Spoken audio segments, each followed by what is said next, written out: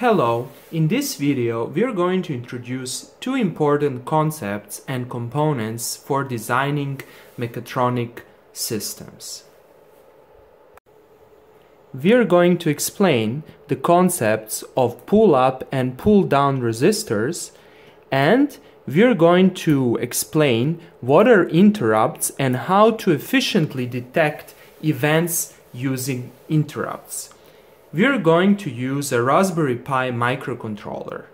Although everything that I will explain in this video can be applied to Arduino microcontrollers. The circuit that you can see over here demonstrates the basic usage of pull-up resistors. We want to make sure that the state, that the digital state at the GPIO27 is always defined. That is, if we press the switch, the state should be 0 and if you leave the switch open the state should be 1. That is the state should be corresponding to 3.3 volts. Now imagine that we didn't have this pull-up resistor and that we want to read the state from GPIO 27. If we would do digital read, the value, the voltage value at GPIO 27 will be floating. That is, it will be undefined, can be random value, and this can create problems in our codes. That's why we want to make sure that the state is always defined. And by using the pull-up resistor, we are ensuring this. So, if the switch is open, the voltage at GPIO 27 will be approximately equal to 3.3 volts, that is equal to digital high. This is due to the pull-up resistor and the internal impedance of the microcontroller. I will explain this in detail in the next uh, few slides. On the other hand, if we close the switch, the GPIO will be grounded. That is, it will be equal to the digital zero.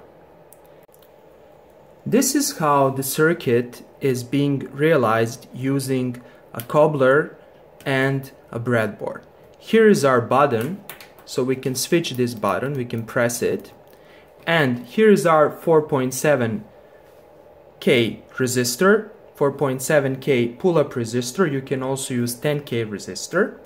So let's see what happens when the switch is not pressed. That is when the button is not pressed. So I've attached my GPIO pin to the oscilloscope and you can see over here this is the voltage reading when the button is not being pressed. So the average voltage value is 3.07 volts. That's approximately equal to 3.3 volts from the Arduino power supply. So if I press the switch, my voltage goes to approximately 3 point, let's say 3.1 millivolts. That is, that's the logical zero.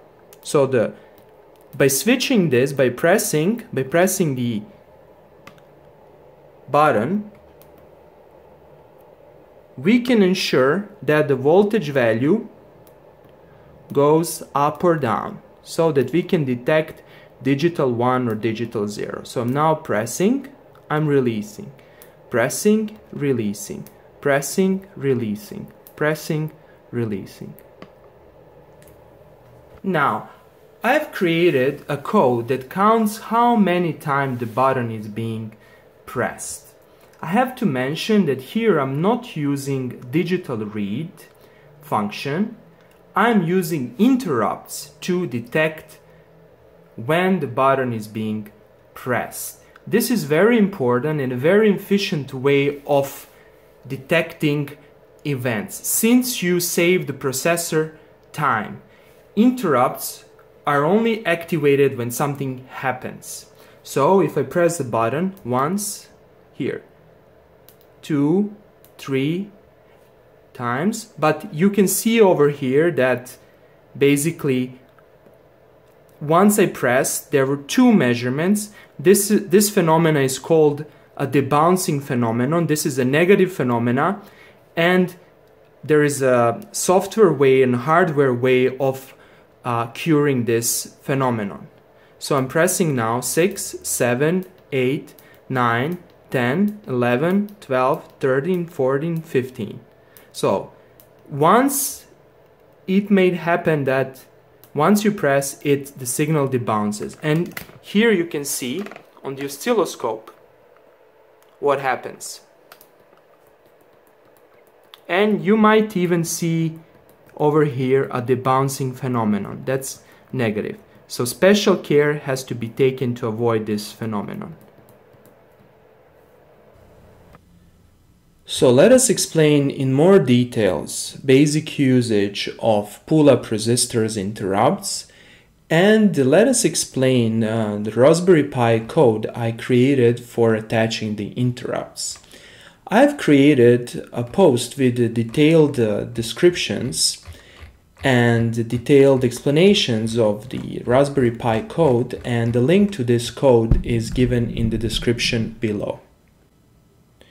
Imagine that you have a microcontroller and that you have an input pin. And imagine that you want to read a voltage value from this digital, let's say, input pin. So, what will happen if you just do a digital read from this pin?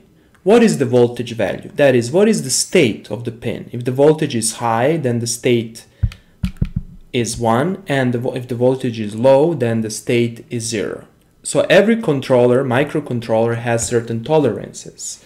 Let's say if you have a Raspberry Pi microcontroller and let's say uh, digital one will be in the voltage range of uh, let's say mm, 3 to let's say 5 volts and digital 0 will be let's say below 0.5 volts. However, what happens if you directly read this input pin without having any device or any electrical circuit input attached to the input? Well, the state will be undefined. You want to avoid that. You want to make sure that the state is always low or high, that is either 0 or 1. So, to achieve this, we can use pull-up resistors. So here's our resistor R1 and here's a basic circuit, similar to the circuit I used at the beginning of this video. Now, VCC is the voltage coming from, let's say, power supply. It can be 5 volts or 3.3 volts. Now, if this switch is open, that is, if the button is not being pressed, the readings at the input pin will correspond to VCC. That is, the voltage at this point, or better to say potential, will be approximately equal to VCC. So, why is that? And under which conditions this is ensured? Well, you can represent this circuit by the following circuit. So every microcontroller and its every input pin has some internal impedance. So internal impedance is just a fancy word of saying resistance. So this is the resistance. Now if you consider this circuit without having this switch or when this switch is open, the current will go through this path. The current will go through this path. Now, if R2 is much larger than R1, then the voltage at this point will be approximately equal to VCC. You can see this from the basic formula for the voltage divider. So here's our basic form formula for the voltage divider. This formula gives you the voltage at the point VA, or better to say potential. Now, if R2 is much larger than R1, then the potential at the point A will be equal to VCC because this term over here will approach 1. Now, this is the main purpose of the pull-up resistor. So this pull-up resistor will pull up the voltage at this point to VCC. Now, how do you select the value of the pull-up resistor? Well, a general rule of thumb is to basically um, select this resistance to be, let's say, an order of magnitude or two order of magnitudes smaller than the internal resistance or the internal impedance of the microcontroller. You can check for every, every microcontrollers uh, every microcontroller has certain specifications and you can verify these specifications. But the general rule of thumb is to select either 10K or 4.7 K ohm resistors to be pull-up resistors. On the other hand, when the switch is closed, what happens? Well, when you close, close the switch or when you press the button, the potential of the point A will be equal to the potential of the ground, right? So you're going to ground the point A, the input pin. That is, your input pin will have a low state corresponding to digital 0. Now, this is ensured by the fact that the resistance R1 is significant such that basically the ground is attached to A when the switch is being closed. Here you can see the basic usage of pull down resistor. So this is a pull down resistor. The R1 is a pull down resistor. So when the switch is open, that is when the button is not being pressed, this point A, its voltage will be equal to the ground, right? It will be equal to the ground voltage that is zero. That is, it will be equal to the low state. On the other hand, when you close the switch, when you press the button, the voltage at the point A or the potential will be high, that is corresponding to VCC. Now, over here you can see a simple circuit that I used at the beginning of this video.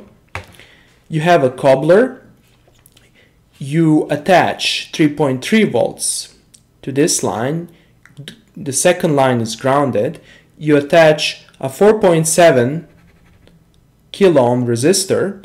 And basically this is your point A. You are reading voltage from the GPIO pin 27 there is another video and in that video I explained how to basically set up a Raspberry Pi, how to choose the cobbler, how to write basic codes. And you should see this video if you are interested to know more about this. Finally, this is your button. Here is our code, our WiringPi code. So we are using the library called WiringPi. This is also explained in our previous video. This piece of code is used to attach the interrupt. So what is an interrupt? Well, in every code, we would like to perform certain operations. We would like to send certain values to input output ports to read some values from the input output ports. Now, we can do this in a main function. So this is our main function. In this while loop, we can basically all the time iterate and perform all the operations. So imagine a situation in which you would like to detect when this button is being pressed. So one of the options is to write a piece of code in the while function, in the main function, that will always check the state at the GPIO 27. That is, it, it is always going to check if the button is being pressed. Now, this consumes a lot of processing time. Right. And we don't want to do this all the time. So a better option is to basically define an interrupt, define a certain function that will be called when this switch is being pressed. That is, we don't want to read continuously in the main function in its while loop. We don't want to read every in every iteration the state of the GPIO 27. We would like to do something else, but when something happens, that is when someone presses the button, we want our code to stop and we want a certain piece of code to be executed. Well, the interrupts are actually achieving that. So the interrupts, as their name say, clearly says it and explains it, are interrupting the code. Here is our WiringPi code. Now, code line 20 is used to set up the WiringPi library and on the code line 21 we are actually defining the interrupt. We are saying that basically input A which corresponds to our GPIO 27 should be an interrupt. Then we are going to detect a falling edge so we can detect a signal going up or signal going down, change in signal. We are going to detect the falling edge. Why? Because we, when we press the button, the state of the system will go from high value to the low value. That is, it will fall down. And this third argument of the function, which stands for ampersand function A. This is an artifact in my code created by my WordPress plugin, so ignore this. It should be just ampersand function A. Gives the address of the function that will be called in case your switch is being pressed. And here is our function. So in this function, when the switch being pressed, we are simply increasing value of a counter that's initialized to be equal to zero. So, and finally in the while loop, in the main function, we are just printing how many times the button is being pressed. We are never doing any digital read over here. Now, as I mentioned previously, and as you have seen in the, in the, at the beginning of this video, there is a problem with this code because the switch can debounce the values can debounce. So we, on top of this code, we have to write another code that will debounce the voltage value. That will ensure that if the switch debounce, that the events are not artificially counted. But that's the story for the next video. Thank you very much for your attention.